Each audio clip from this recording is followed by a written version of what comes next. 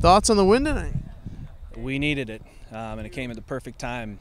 Uh, keeps us alive in the conference, and it gives the boys uh, a, a lot of hope and a lot to fight for. So it was a perfect time, and the boys fought real hard tonight. I'll take it. Happy. How does that feel to get this group on the board and get them their first win of the season?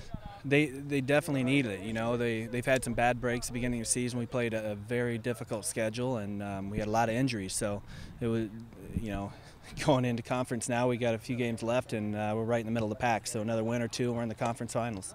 What impressed you the most tonight?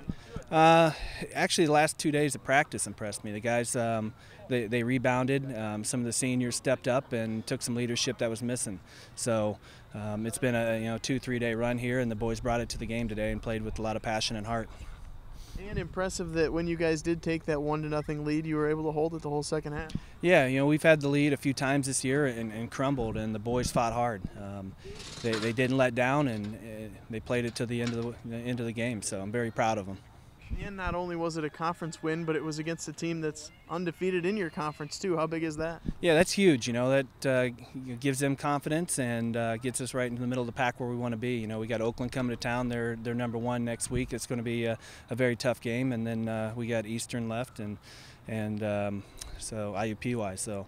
You know, we got we got a lot of games left, and I think we can make a run at this. Feels great. It's been a while since we've gotten a W. We all worked hard you know, we deserved it tonight. We worked very hard. So.